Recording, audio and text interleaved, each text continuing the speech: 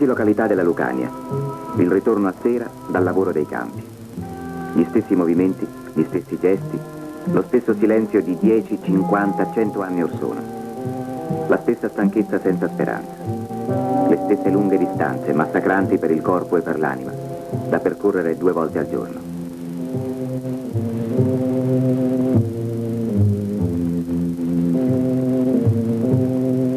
Eppure, cento anni or sono, risorgimento e unità nazionale potevano spezzare questo stato di cose.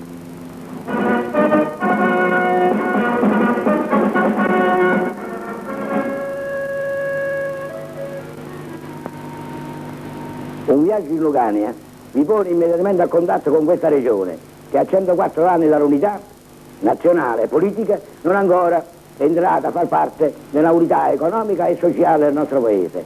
La, nostra, la vita del nostro, della nostra regione eh, nelle eh, gran parte dei comuni è rimasta arretrata, non dal punto di vista sociale, perché molti progressi sono venuti, ma dal punto di vista economico le sue condizioni sono quelle precedenti alla stessa unità.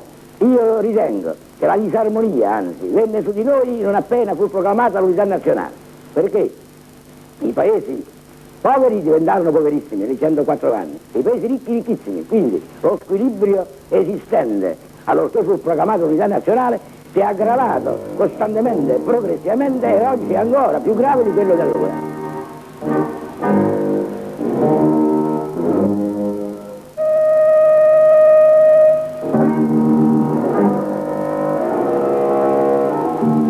La vita della comunità qui si tende tra i due poli della morte e dell'emigrazione, ma anche l'emigrazione è sollievo apparente più che reale. L'emigrazione non risolve i problemi di fondo della Lucania. E per chi resta, i problemi non cambiano.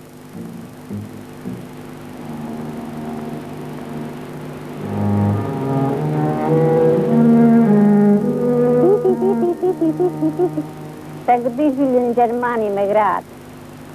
Possono pensare per me o per loro che non guadagnano niente. Tengo due qua e non abbiamo che mangiare. Siamo quattro persone. Non teniamo fagioli, non teniamo patate, non teniamo niente.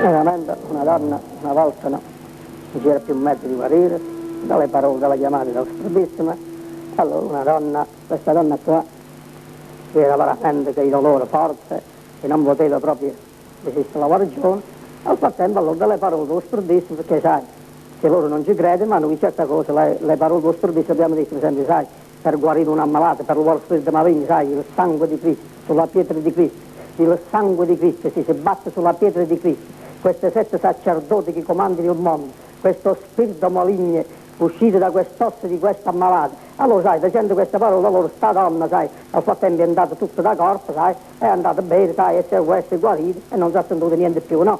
Dopo tanto tempo, sai, mi ha scritto una lettera, ha detto veramente, dice, appena sono andato da corpo, appena sono andato bene, bene da corpo, sono guarito perfettamente, non mi hanno detto niente più.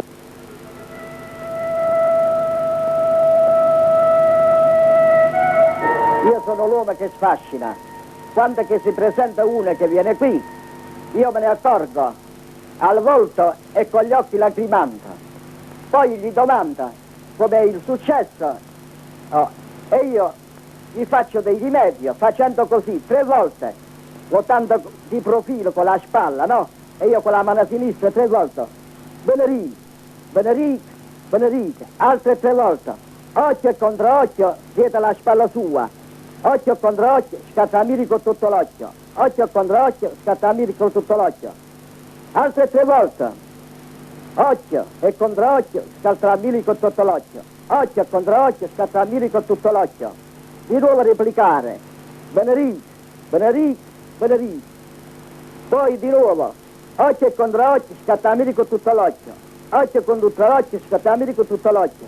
Occhio contro l'occhio, scattamiri con tutto l'occhio. Scattimi l'occhio a tutti.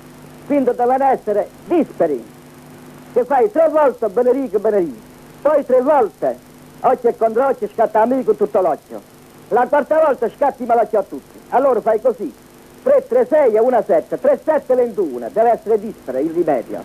Se no, non ci riesce.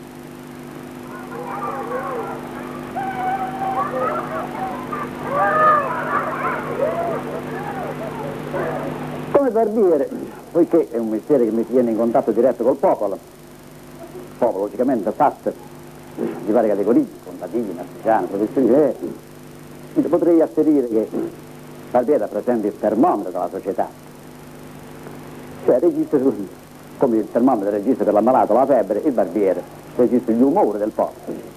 E beh, da 30 anni che faccio su mestiere, non sento altro dalla mattina al sera lamentele, specialmente i contadini, si lamentano continuamente. Il veterano, specialmente nella fase attuale, cioè fase di rotazione, il veterano costa 250 lire al chilogrammo, con zoppa 30 lire. Oh, prodotti anticrittocamici, costi esuberi. L'artigiano che si lamenta perché, logicamente, quando va male per il contadino, va male anche per l'artigiano, la cui attività dell'artigiano è connessa a quella del contadino. E, e il mestiere di barbiere diventa ossessionante a un certo punto, sentirsi lamentare dalla mattina alla sera. Poi non ne parliamo, quando vedono questo ritratto di Matteotta, addirittura la gente scandalizza. Dice perché? Perché permangono ancora nella, nella società, specialmente regionale, nostra locale, permangono pregiudizi, diciamo così, era borbonica.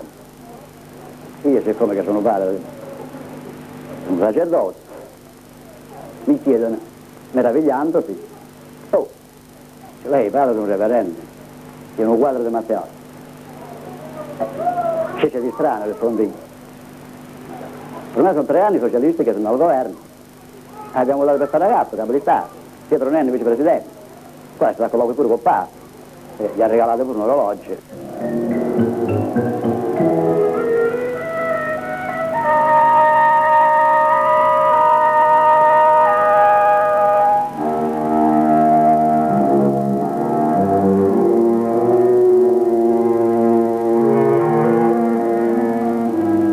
Lucania 65. Un nuovo superficiale che intacca scarsamente le strutture culturali del contadino, così come non incide sui modi di vita fondamentali.